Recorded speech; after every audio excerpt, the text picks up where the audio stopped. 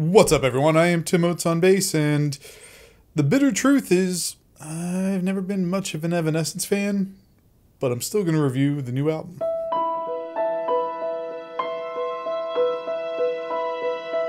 Okay, let me explain.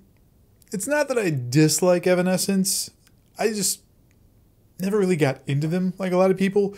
And I know, like, Amy Lee's an amazing singer, I have a lot of respect for her the band's really good. And when they first came out, they had Bring Me Back to Life. Everyone knew that song. It was just a huge hit.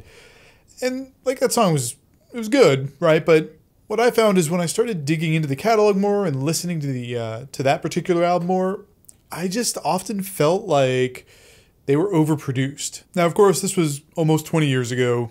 A lot has changed figure now is probably a good time to check out the new album. Maybe I've grown as a person, grown as a musician, grown as a listener. Who knows? We'll see. But I am excited to dig in. I have not heard anything off this album. When you see the title cards, that's your chance to pause, listen to the track with me. When you're done, unpause, and I'll tell you my thoughts. It's like we're reviewing it together, except I'm the only one talking because it's a video. But you get that. All right, let's let's get right to it. The album's The Bitter Truth. Uh, the first track is artifact the turn. Or it's like artifact slash the turn.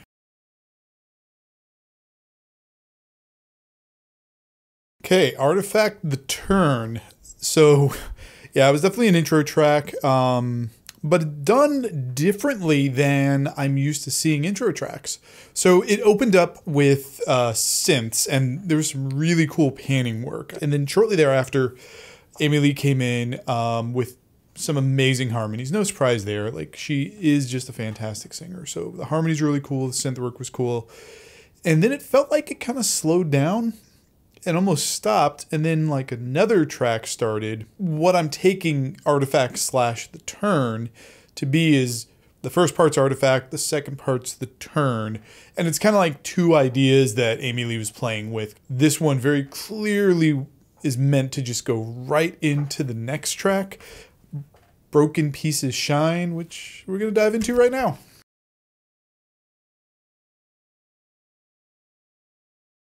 So I had a hard time paying attention to the song because the uh, the mix felt really weird to me. The guitars seemed really low, especially in the beginning. It did get a little bit better through later in the song, but not much. I mean, it was it felt like it was really drum forward, drum and synth forward. Occasionally you'd get some some bass coming through. The vocals also felt buried in the mix. And when you have a singer like Amy Lee, you wouldn't think you would bury the vocals, at least not for the whole song.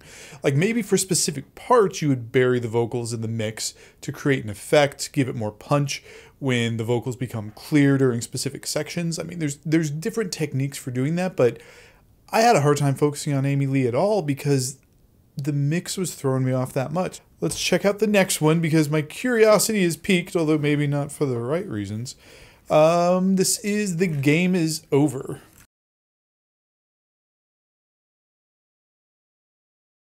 Okay, the game is over. So that one, with the mix was much better. I don't know what was happening with that other song. I will say, like, I kind of wasn't paying too much attention during the first verse because I was paying attention to the mix because it started with drums again. And I was like, oh no, oh no, not again.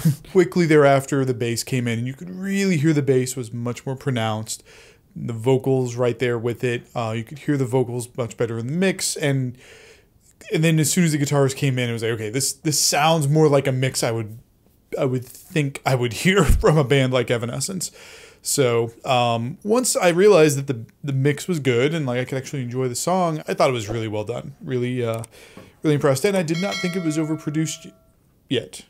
So maybe I've matured a little bit since 20 years ago. We'll see. Uh, there's still um, nine more songs to go, so we should probably get in the next one, which is yeah right.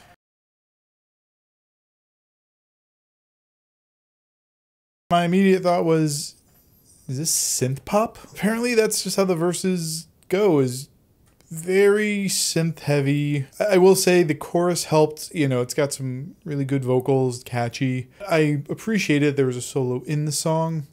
Did not particularly like the ending. It's interesting because there's there's parts of the song that I liked, parts that I didn't, but I think ultimately the the verses I disliked enough that it's just like, nah, this is not for me. Uh, I'm sure there's others out there that will like the the way the verses are. It just I I could see if you were into that, digging it. So you know, nothing but love there. Uh, just not for me. But let's see if uh, feeding the dark is more my style.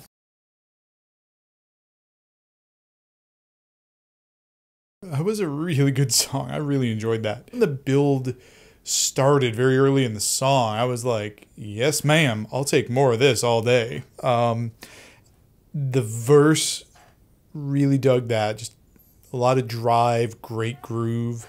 Uh, chorus was nice and big, kept the energy up of the verse, uh, elevated it, and then the bridge continued that trend and actually used some nice like motif play of pulling back in some of the musical themes from the previous um, sections to really kind of tie it together. The only criticism I have of this song is the second half of the bridge felt a little empty, almost unnecessary.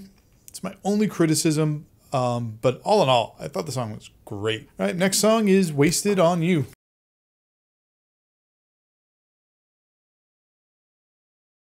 What a good, good. I, I can't say good enough. What an amazing song. Wow. So I like I've got notes. I'm scrapping all of that. I'm scrapping all of my notes because it's just that good of a song. You it's it's just beautifully done. It's got an amazing build throughout the song. By the end, it's just got a ton of energy. There's so much emotion in the lyrics. I, I did take a peek at the lyrics. Um, it's um, it seems pretty clear that it's it's about a breakup. I'm guessing a divorce because there's just a lot of pain. The video was a great compliment to the um, to the song. You can kind of tell it was like a pandemic video. It looks like it was kind of all shot at home. Like it was still well done. It looked great. There's a certain amount of intimacy of like letting the world see you at home that played in so well with how emotional and raw this the song is and the lyrics. So I can't say enough good things about this song.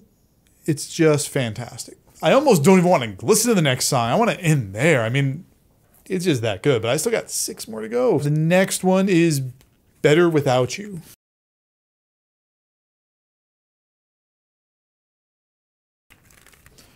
Okay, that was another great song. Um, what was that? It was Better Without You. So good. And and it plays in the album perfectly. If the last song, Wasted on You, was the breakup song, this is the other side of that, of finding your power again, finding your voice. I mean, it just really like a lot of like drive and, and the way the music was arranged, and of course, the way the, the vocals were arranged, it just gave you that exact feeling. The way that the music was written, it did a really, really good job of keeping up the right amount of tension through the verses. And then the chorus gives you the release where all of a sudden it's like okay i found the power. And the, and the way the vocals kind of elevate it it pulls it together. The vocals in the bridge might be my favorite vocals so far on the album. And there's some amazing vocals. All right let's check out the next song which is use my voice. There's a lot of music videos on this album. Like this is the third official music video and there was an official lyric video. I haven't even been mentioning all of them. It just feels like a lot. So anyway, sorry, just a random observation. All right, uh, use my voice.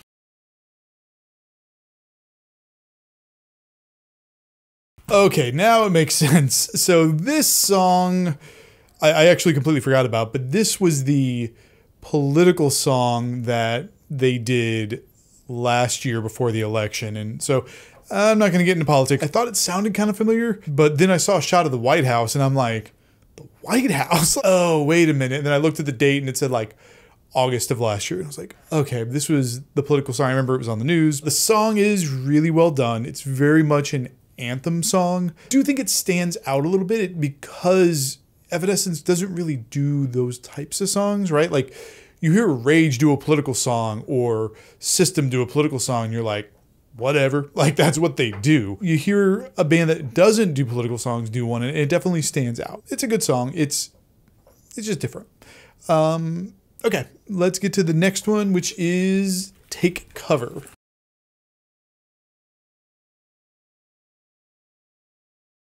Oh, I'm so mixed on this one.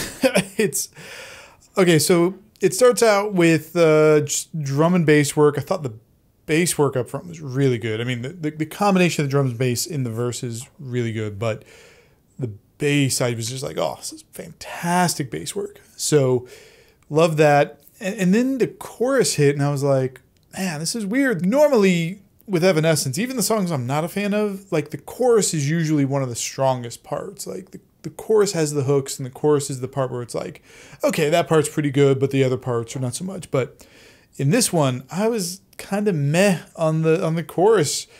I thought the verses were great. And then the bridge came in and the bass work got even better.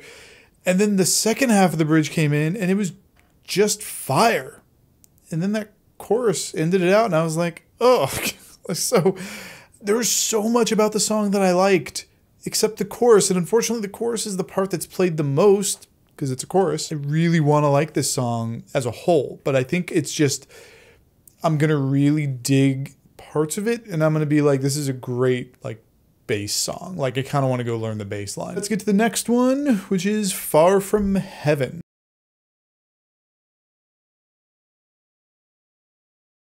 Uh, so that was a ballad very emotional song, piano forward. It's a really good song. I can recognize it's an amazing song, right? And it's going to speak to a lot of people, but it just didn't speak to me. There are other songs on this album that completely pulled me in, that blew me away. And the thing is, is those songs may not connect with other people. This one just does that with me, and that's okay. Like everyone has different songs they connect with, and if you talk to people about music, you'll hear that. You'll hear people bring up a song and like that's the soundtrack of their life or that song got them through something. Okay, let's check out the next one, which is Part of Me. So, Part of Me, really good song. Uh, had a nice driving energy throughout. Um, great backing vocals during the verses kind of haunting, really, really helps set the mood of the song. The chorus melody sounded familiar. I couldn't put my finger on it though. If you have any idea what I might be talking about, if you heard the same thing, let me know in the comments because it just had, it reminded me of, of a something like a very common vocal line or, or well known vocal line or something. I'm not sure what it is, but anyway, if you have an idea, let me know. All right, with the last Last song. This is Blind Belief.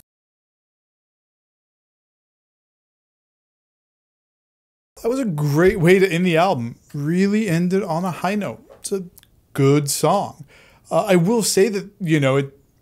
I felt like I was listening to an Evanescence song. I mean, not that the other songs didn't sound like an Evanescence song, but something about this one I was like, yeah, this feels more like a signature sound. Anyway, great song. Um, really, really great way to end the album. Uh, the guitar work in the chorus I thought was really cool. In fact, the second half of the chorus, they uh, they do these chords that kind of walk down. I thought that was that was dope. I, I was a big fan of that. So yeah, so that's that's the album. You know, I gotta say, I thought it was really good. I know that there's a couple songs that I wasn't feeling. There's a couple parts that didn't speak to me and some weird stuff. But you know, when I think about the album as a whole, it's uh, it's really good. The Bitter Truth by Evanescence. I I dig it. I think think I could become an Evanescence fan. Who who knows? Like a, like a real fan, not like a you know. Well, that one song is kind of cool, and oh yeah, they also did that song. Like that's kind of cool. Like because that's really where I was before. But um, yeah, check it out. Uh, also, check out the rest of my channel. Uh, like the video, subscribe. You know the U- YouTube stuff. YouTube stuff all around. You know it. You you do YouTube stuff all the time. I know you do. Uh, check out the album. Do the YouTube stuff. You keep making beautiful music, and I will see you in the next one.